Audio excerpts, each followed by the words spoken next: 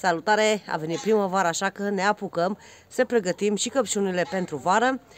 Eu deja m-am apucat și vreau să vă arăt și vouă ce fac aici.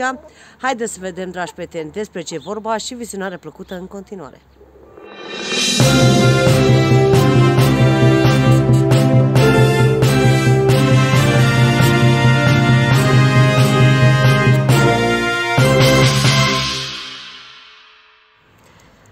Salutare încă o dată și bine ați venit! Sunt aici în grădinuța unde am uh, căpșunelele și cum a venit primăvara, s-a dus înghețul, ne apucăm să pregătim căpșunile pentru vară, pentru sezonul cald. Pentru că, după cum știți, la căpșuni avem mult de lucru și vreau să vă arăt și vouă cam ce aveți de făcut uh, la căpșuni noi le-am plantat anul trecut și sunt deja unele mai mari, unele mai mici. Astea nu vă gândiți că nu acum le plantăm, le scoatem care sunt în plus. Și vreau să vă arăt și vouă cum uh, procedăm acum. Acum facem răritul. Dăm toată mulcirea care noi am făcut-o, o să vă arăt imediat despre ce vorba, pentru că peste iarnă Iarna trebuie să acoperim căpșunile, mai ales dacă este primul an când l-am plantat, pentru că ele sunt foarte sensibile și poate să înghețe. Dacă deja au 2-3 ani, atunci nu mai necesită acest lucru, pentru că ele sunt destul de puternice. Eu când l-am plantat anul trecut, dacă vreți să vedeți cum l-am plantat, este un videoclip făcut pe canal, au fost mai mici decât sunt acum și au ajuns să se mulțească foarte, foarte tare. Dați seama, în primul an nu vă face recoltă multă, dar vă face. În al doilea an o să vedeți că o să aveți multă recoltă dintr-un uh, răsat sau stolon, cum mai uh, se spune la căpșuni, dintr-unul din asta când îl plantați voi, când vine toamna, o să se facă 2 sau 3 pentru că ei se mulțesc extrem, extrem de tare. Și nu putem să le lăsăm așa pe când vine acum căldura pentru că ele, cum se mulțesc foarte tare, o să fie prea înghesuite și o să putrezească, o să se strice și plus de aia nu o să aveți așa multe căpșuni și acum facem și răritul la căpșuni. După ce facem răritul, putem să le plantăm fie în altă parte, fie le dăm la cineva sau le putem pune chiar și în ghiveci. Le plantăm în alt loc dacă avem. Noi cred că o să le mai punem câteva în ghiveci și restul o să le mai dăm la noi pe aici în sat cine mai vrea, pentru că este păcat să le aruncăm. Deci, iarna am pus paie, restul vegetale ce au rămas de la iepuri și de la păsări, nu am pus paie curate și ele deja au uh, putrezit o parte și o parte, după cum vedeți, mai sunt, dar dă vitamine, minerale și ce are nevoie solul ca să le ajute peste iarnă să treacă cu bine, dar și după cum ați văzut, și în vara anul trecut am făcut tot așa mulcirea. Hai că vreau să întorc camera să vă arăt despre ce este Eu deja am scos din ele, m-am apucat de ceva timp, după cum vedeți aici, și mai am aici într-o găleată. Astea nu o să le arunc, Puteți să le țineți așa două, trei zile, le puneți în ceva și puneți un pic de apă, le puneți toate așa una lângă alta. Dacă n-apucați în acelea zi să le faceți, le puneți într-o caserolă sau în ceva așa, lăsați cu mai mult pământ cum am făcut și eu.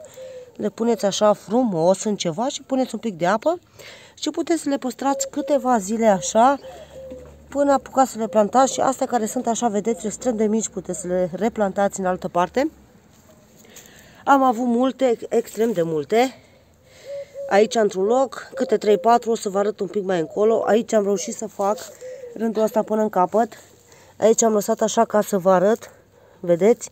Am mai scos din pământ, am mai scos din ele pentru că se face una, aici mai trebuie să scot că vedeți, îs două, aici sunt trei una lângă alta, vedeți că se vede aici ai una, cum vedeți așa, așa e una, îți trei una lângă alta, trebuie să scoatem două, să rămână doar una. Dacă nu puteți așa, le scoateți pe toate și mai plantați una. Trebuie neapărat rărite, pentru că altfel nu aveți... Adică el o să se facă, de o să facă mult mai mici și nu o să aveți așa căpșuni și o să, bineînțeles, o să putrezească, o să se îmbolnăvească. Dacă faceți mulcirea cu paie sau cu resturi vegetale, Eh, aici trebuie să fiți atenți, uitați și aici mai am cum am scos aici uneltele mele de muncă. Până aici așa am ajuns să fac și rândul ăsta și ăsta mai am încă două rânduri de făcut. Dacă n-apuc să termin astăzi pentru că deja stă așa să înceapă ploaia.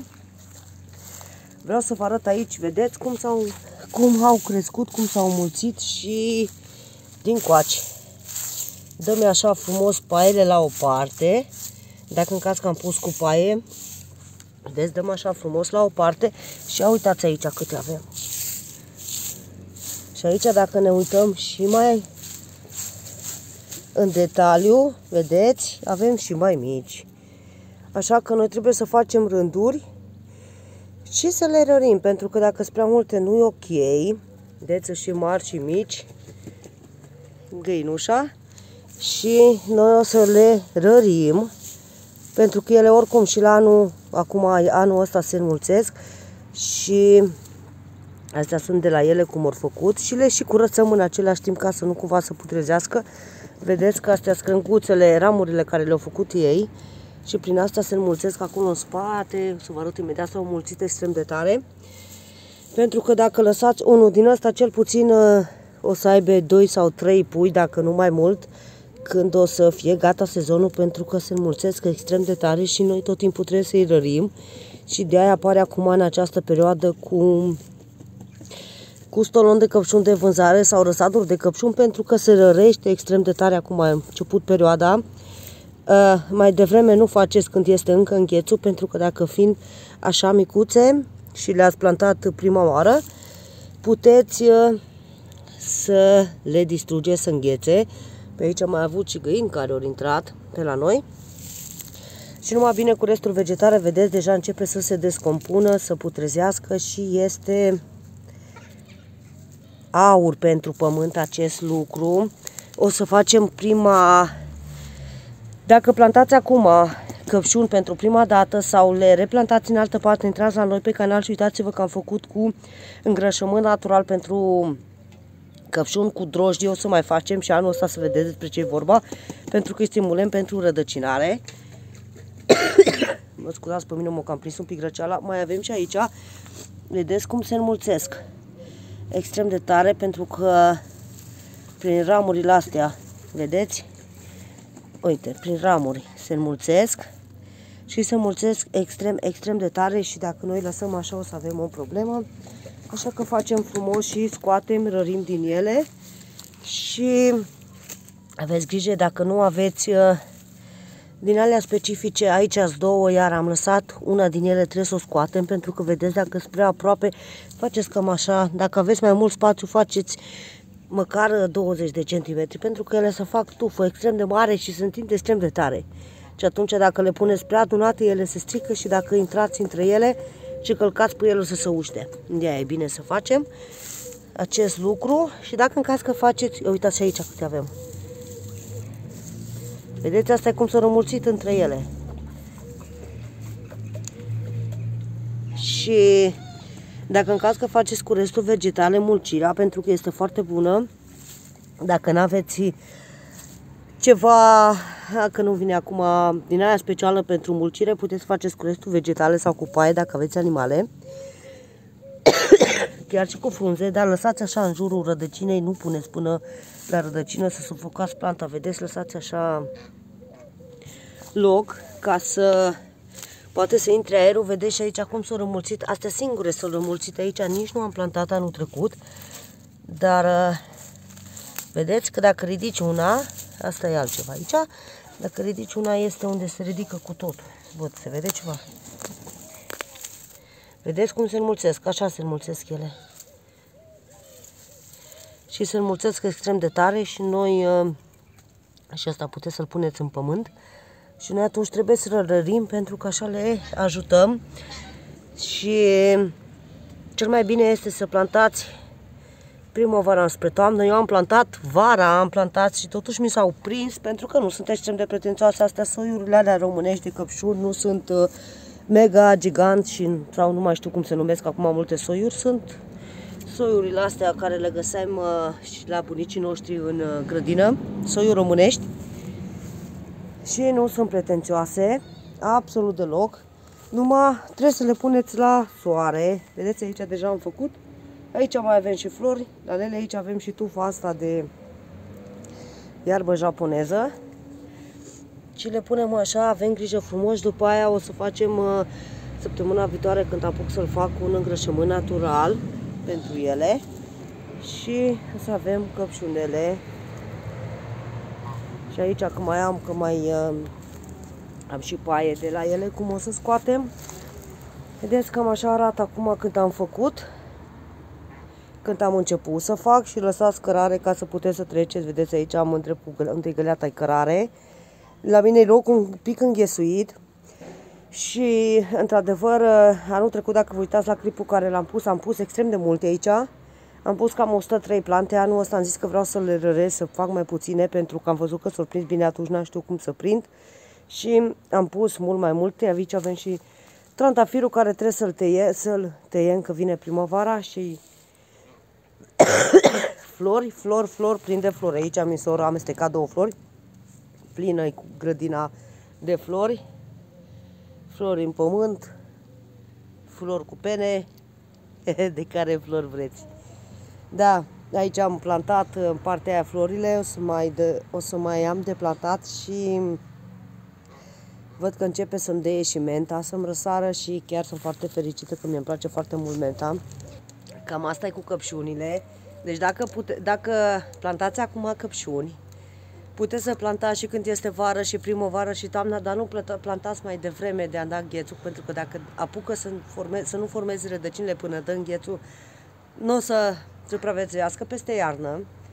Dar dacă voi le plantați acum, pentru că am primit acum un comentariu cu cum sunt cu căpșunile, trebuie scoase din pământ sau nu se scot căpșunile din pământ, doar le acoperiți măcar în primul an încercați să le acoperiți, fie cu restul vegetale, restul vegetale fiind frunze sau uh, când faceți curățenie în grădină, dar nu puneți creni sau din astea pentru că ele nu o să mai pasă de el nu?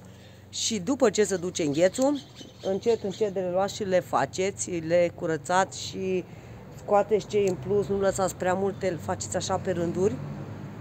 Eu am făcut două rânduri într-una, una am pus așa, una așa, una așa, ca un gen de zigzag, pentru că ele se fac tufe mari undeva, să zicem așa, la 10-15 cm roată și ele se extind extrem de tare.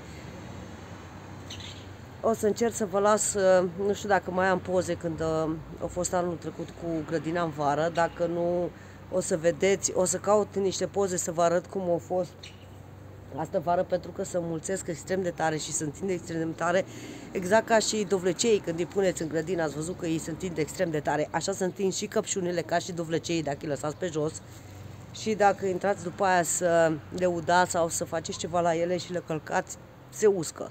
Și e păcat să se întâmple acest lucru și plus de aia mucegăiesc dacă n-au aer, nu se coc, nu se coc uh, căpșunile pentru că au nevoie de mult, mult soare. Așa că dacă vrei să pui căpșuni, pune-le la soare Uh, anul trecut nu au făcut așa mult rot pentru că era primul an, dar anul ăsta sunt sigură, după cum am văzut acum că au trecut cu bine iarna. Unii sunt mai mari, unii sunt mai mici, nu vă faceți probleme pentru că și dacă sunt mici o să crească, pentru că o să le facem uh, stimulente de rădăcinare naturală, o să le facem uh, și îngrășământ natural și plus că este cum am pus aici de la găini, de la iepuri, cum am curățat e deja aici în pământ și vă dați seama și ăsta e foarte bun pentru ele, pentru că se descompune și între pământ.